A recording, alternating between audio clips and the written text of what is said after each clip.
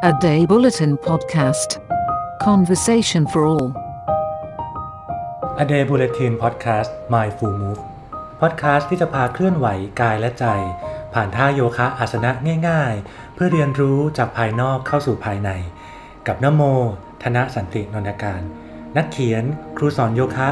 นักวิ่งอัลตร้าเทรลมาราธอนและผู้ที่เชื่อในพลังของการเคลื่อนไหวร่างกาย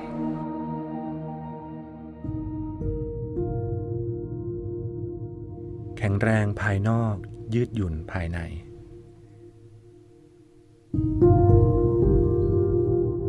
สวัสดีคุณผู้ฟังชาวพอดแคสต์ครับ พบกันอีกครั้งกับนโมและโยคะใน My Full Move ครับ คุณผู้ฟังเคยสังเกตเพื่อนๆ หรือว่าคนรู้จักหลายคนที่ฝึกโยคะอาสนะอย่างต่อเนื่องไหมครับ หลายคนฝึกสม่ำเสมอนะครับ เราพบด้วยว่าคนเหล่านั้นส่วนใหญ่ดูแข็งแรง โดยเฉพาะรูปกายภายนอกที่ดูแข็งแรง ร่างกายสมส่วน บุคลิกภาพที่ดี แล้วก็หลายครั้ง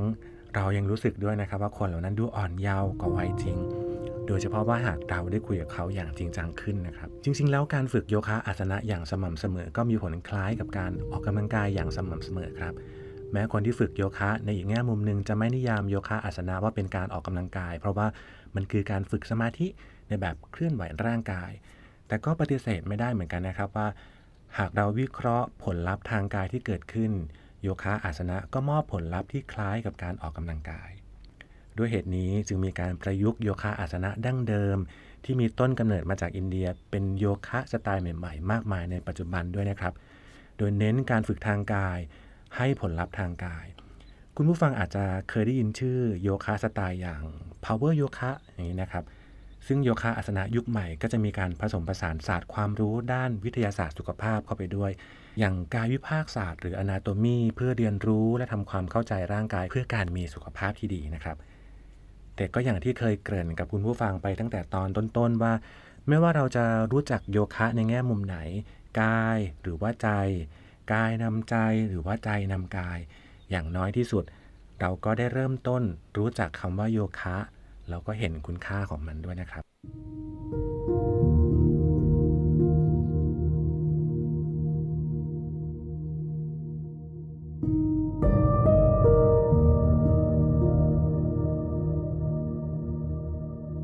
ดยส่วนตัวผมเป็นคนชอบฝึก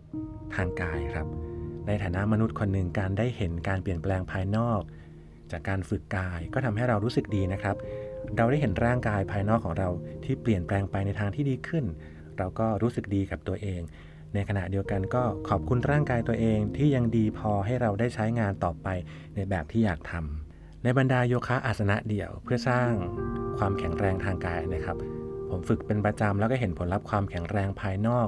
ได้แก่กลุ่มท่าอาสนะที่ฝึก lower body หรือว่าช่วงลำตัวช่วงล่างหรือขานะครับ อย่างเช่น ท่านักรบที่ 1 ท่านักรบที่ 2 ท่า high lunge ท่าสามเหลี่ยม ไปจนถึงท่าต่างๆ ในกลุ่ม balancing pose หรือว่าการฝึกการยืนทรงตัวที่ขาข้างเดียว ในความที่ตัวเองเป็นนักวิ่งครับ ส่วนตัวก็เลยใช้อาสนะเหล่านี้เพื่อฝึกฝนทางกาย และพบว่าความแข็งแรงและความยืดหยุ่นมีความสัมพันธ์กัน ซึ่งโยคะอาสนะให้ในสิ่งเหล่านี้ และคิดว่าดีต่อความเป็นนักกีฬาแทบทุกประเภทด้วยครับ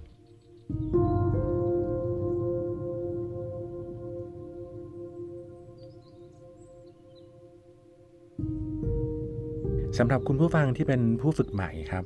พบกันครั้งนี้อยากชวนฝึกโยคะอาสนะง่ายๆหนึ่งท่าไปพร้อมกันด้วยเลยนะครับ ท่านี้เป็นท่าที่มีผลดีต่อการเพิ่มความแข็งแรงของขาลำตัวช่วงล่าง ท่านี้คือท่านักรบที่ 2 หรือ warrior two ชื่อภาษาสันสกฤตคือ วีระพัฒาสนะทูนะครับ ลองฝึกไปพร้อมกันแบบนี้ครับ เริ่มต้นยืนแยกเท้ากว้างกว่าระยะไหล่บิดปลายเท้าขวาไปด้านข้าง 90 องศา ปลายเท้าซ้าย ชี้ตรงมาด้านหน้า สะโพกชี้มาด้านหน้า กางแขนทั้งสองข้างแอคทีฟแขนไหลสบายๆ ไม่ห่อไหล หายใจเข้าลึกๆ รู้สึกเหมือนถูกดึงศีรษะดึงลำตัวขึ้นไปบนเพดาน หายใจออก ค่อยๆ งอเข่าด้านขวา ลดลำตัว ขาทำมุม 90 องศา หรือไปเท่าที่ไปได้ จากนั้นค่อยๆ บิดศีรษะสายตามองตามมือไป ลองค้างท่าไว้ 3-5 ลมหายใจเข้าออก แอคทีฟขาด้านหลังมากกว่าขาด้านหน้า น้ำหนักไม่อยู่ที่หัวเขา่า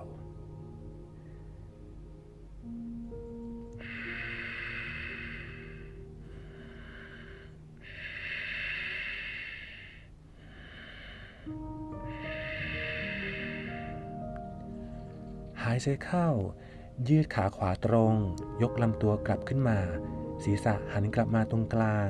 แล้วค่อยๆ ทำกับขาด้านซ้ายแบบเดียวกันครับ อย่างที่เกริ่นกับคุณผู้ฟังไปว่าความแข็งแรงกับความยืดหยุ่นเป็นสิ่งที่ต้องมาควบคู่กัน ซึ่งการฝึกท่านักรบที่ 2 ก็เป็นตัวอย่างนั้นได้ดีเลยนะครับ เมื่อเราค้างท่าไว้ร่างกายของเราจะสร้างความแข็งแรงให้กับกล้ามเนื้อและเส้นเอ็น ในขณะที่กำลังยืดตัวออกไปจากแนวของกล้ามเนื้อและเส้นเอ็นเดิม ความแข็งแรงกับความยืดหยุ่นจึงเป็นสิ่งที่มาคู่กันครับ แต่จริงๆ แล้วความแข็งแรงก็มาควบคู่กับอีกสิ่งหนึ่งในทางตรงข้ามกันด้วยนะครับ นั่นคือความแข็งแรงมาคู่กับความเสื่อม ไม่ว่าเราจะฝึกกายแค่ไหน มีรูปกายภายนอกสวยงามแค่ไหน วันหนึ่งความเสื่อมก็มาเยือนตามเวลาเสมอครับ หรือความเสื่อมอีกประเภทหนึ่งที่เราสัมผัสได้ง่ายที่สุดก็คือ ความเหนื่อยล้า หรือการบาดเจ็บ ภาษานักกีฬาเขาจะบอกว่า overtraining ครับ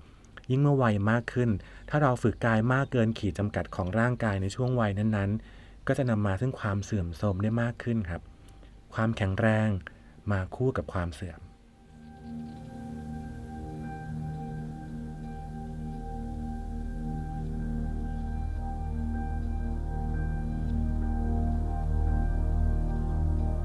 สิ่งที่ดีที่สุดที่เราทำได้จึงเป็นแค่ชะลอมัน ขอบคุณมันแล้วก็พยายามยอมรับมันให้ได้ ไม่แน่ใจว่าคนที่ฝึกโยคะอาสนะมานานๆ จะรู้สึกเหมือนที่ผมรู้สึกหรือเปล่านะครับ ยิ่งเราเห็นร่างกายตัวเองแข็งแรงมากขึ้นเท่าไหร่เราก็ยิ่งยอมรับความเสื่อม ที่จะค่อยๆ เคลื่อนมาถึงในวันหนึ่งได้มากขึ้นเท่านั้น แล้วมันก็ทำให้เราย้ำกับตัวเองเสมอว่า ความแข็งแรงกับความเสื่อมมาคู่กัน พบกันใหม่ครั้งหน้านะครับ สวัสดีครับ สามารถรับชมคลิปการสอนโยคะอาสนะของพอดแคสต์ตอนนี้ได้ทาง YouTube ช่อง A Day Bulletin และติดตามตอนต่อไปของรายการ My Full Move ได้ทุกช่องทางการรับฟังพอดแคสต์และรายการอื่นๆ จาก A Day Bulletin Podcast ได้ทาง Facebook Page A Day Bulletin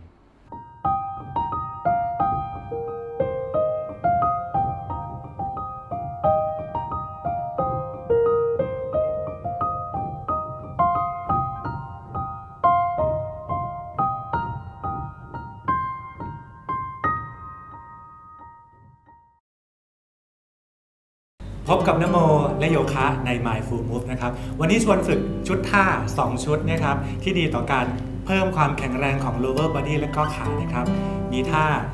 triangle pose ครับ ก็คือท่าสามเหลี่ยม แล้วก็ท่านักรบที่ 2 warrior 2นะครับ มาเริ่มต้นนะครับ ยืนกลางเท้ากว้างกว่าระยะของหัวไหล่นะครับปิดปลายเท้าทั้งสองข้างไปหน้าห้องนะครับ เริ่มต้นจากปลายเท้าขวาปิดไปด้านข้าง 90 องศานะครับ ลองดูกางแขน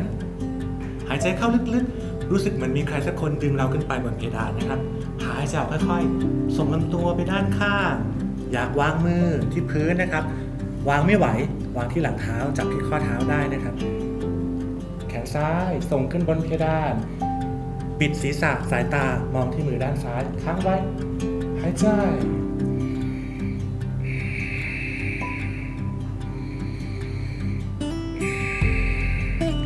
หายใจเข้าดันลำตัวกลับขึ้นมาครับ ต่อเนื่องเลยครับ หายใจออก งอเข่าด้านขวา ส่งลำตัวลงไปนะครับ นักรบที่สอง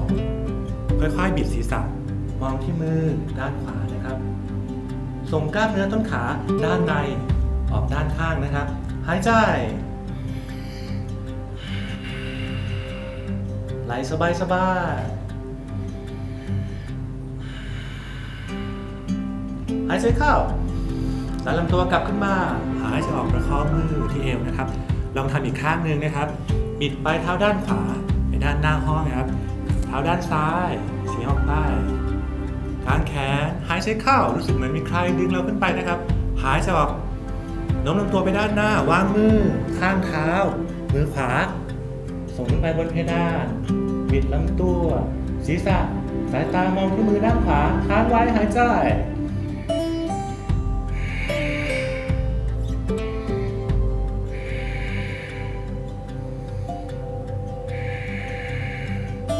ใจเข้าดันลำตัวกลับขึ้นมา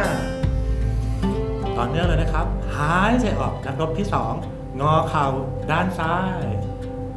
สายตามองมือด้านซ้าย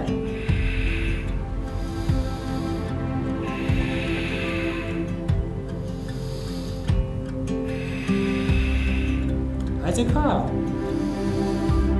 หายใจออกวางมือประคองนะครับ Triangle Pose และ Warrior 2 นะครับ เพิ่มความแข็งแรงของกล้ามเนื้อ Lower Body ครับ พบกันใหม่ครั้งหน้านะครับ กับนโมและโยคะใน My Full Move